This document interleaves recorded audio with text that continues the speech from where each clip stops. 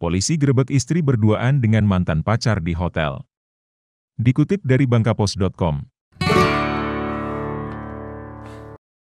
Viral video seorang polisi menggerebek istrinya bersama pria lain, diketahui pria lain tersebut merupakan mantan pacar sang istri. Istri polisi dan mantan pacarnya ini digerebek oleh suaminya sendiri di sebuah hotel hingga videonya viral di media sosial. Rekaman aksi penggerebekan tersebar luas di berbagai platform media sosial seperti Instagram dan TikTok. Pada awal rekaman terlihat sejumlah pria mendatangi sebuah kamar hotel, saat lampu kamar dihidupkan, ada seorang wanita tengah terduduk di atas kasur. Kemudian pria yang ternyata suami dari wanita tersebut meluapkan rasa kecewanya. Anak ditinggalkan di sungai Baung, malah, lari dengan matan ini, bagus. Ini istri saya, sambil sebut nama. Kurang ajar, ucapnya. Sementara pria yang diduga selingkuhan dari wanita tersebut hanya bisa terdiam sambil menutupi wajahnya. Hingga Kamis, 1 September 2022, video sudah ditonton hingga lebih dari 6.000 kali. Warganet juga ikut meramaikan video dengan beragam komentarnya.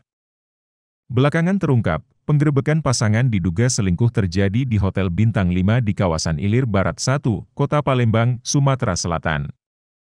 Pria yang melakukan penggerebekan merupakan anggota kepolisian berinisial AP. Ia adalah suami sah dari si wanita, sedangkan istri AP diketahui berinisial F, 23. Kronologi penggerebekan Dihimpun dari Tribun Sumsel.com, penggerebekan bermula saat AP curiga bahwa sang istri menjalin cinta terlarang dengan pria lain. AP lalu melacak istrinya hingga ditemukan berada di sebuah hotel pada Selasa, 30 Agustus 2022, malam. Ia kemudian datang ke TKP sambil menghubungi Polsek Ilir Barat 1. AP meminta bantuan petugas Polsek untuk mendampingi dirinya saat menggerebek sang istri. Kejadian selanjutnya sama seperti dalam video yang viral. F tertangkap basah berduaan bersama pria lain berinisial IM, 24 tahun. F dan IM akhirnya digelandang ke Mapolsek Ilir Barat 1. Kapolsek Ilir Barat 1, Kompol Roy Atambunan membenarkan penggerebekan ini. Ketika anggota datang, suaminya sudah di TKP jadi kita hanya mendampingi saja, katanya, dikutip dari tribunsumsel.com. Roy menambahkan, pihaknya tidak melakukan penahan terhadap F dan Im. Keduanya pulang ke rumah masing-masing setelah dimintai keterangan. Meskipun demikian Roy memastikan proses hukum akan terus berjalan. Tapi proses hukumnya tetap berjalan. Hukumannya nanti, setelah putusan pengadilan, tandas Roy. Curhatan AP AP yang merupakan anggota Polres Banyuasin berpangkat Brigadir Polisi 2, Bribda, menceritakan apa yang dialami di rumah tangganya.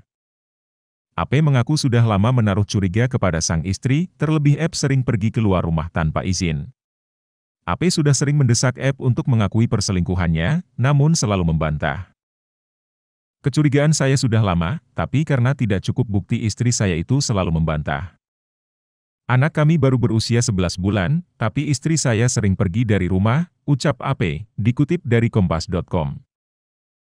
Untuk membuktikan kecurigaannya, AP diam-diam melacak nomor sang istrinya. F dan Im diketahui berkomunikasi lewat pesan WhatsApp untuk bertemu bersama. Keduanya lantas pergi menggunakan Fortuner lalu melakukan check-in di pukul 20.34 waktu Indonesia Barat. Saya yang menangkap langsung di kamar hotel. Waktu itu saya didampingi Paminal Polres Banyuasin dan teman-teman saya serta senior yang masih peduli dengan kondisi saya, tambah AP. Mantan pacar, AP juga membongkar identitas pria yang diduga berselingkuh dengan istrinya. Ia merupakan mantan pacar dari F semasa masih kuliah. I mengaku kepada AP baru menjalin cinta terlarang sekitar satu bulan belakangan. Tapi kalau dugaan saya sudah lama. Apakah sering ketemu di luar dan di hotel saya tidak tahu. Tapi yang jelas kemarin mereka sudah terbukti melakukan perzinahan dan berada di kamar hotel, tegas AP. Terakhir AP meminta dukungan keluarga dan atasannya untuk melanjutkan kasus ini ke jalur hukum. Langkah ini semata-mata AP lakukan karena sayang dengan sang anak. Kasus ini ke depan akan saya lanjutkan dan saya meminta support keluarga, teman, rekan dan komandan saya.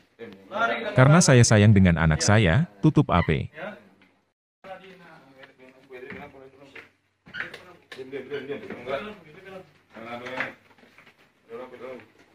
Eka Baradina.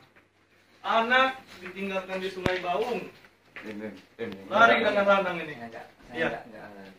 Ya, bagus. Eka Baradina. Ya, ini istri saya, Ibu Bayangkari. Ini kok. Ya, kurang ajar. Ya, udah. Kita ini aja. Pokoknya. Hmm? Buka, buka, buka. Siapa namanya? Dek. Adik siapa namanya?